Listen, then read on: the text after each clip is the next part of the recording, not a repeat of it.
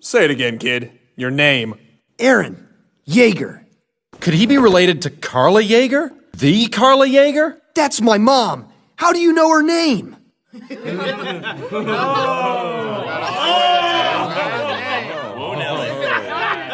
couple of good nights. Kid, there isn't a man above the age of 30 that doesn't know that name. What? You seriously don't know. He doesn't know? No one ever told him? No. Kid, your mom was like the Cleopatra of cock wrangling back in the day. No! That woman redefined what it means to be a whore. No! STDs were like Pokemon for her. She had to catch them all. She went through entire villages in a day, kid. Sex with your mom made me want to become a better man. This is not happening. This is not happening. Wait!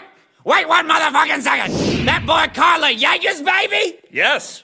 Oh my god, that was the finest hoe this empire ever seen! Back in my pimping days, before I found the walls, we all wanted to get a piece of that Carla. She could suck a dick like it was scripture! It was beautiful. I remember the day we all heard she was getting married to that doctor boy, Gribber or some shit. We was sorry for years! Enough! It was a choice with whole regrets! Objection! Praise the walls! Praise the walls! Woo!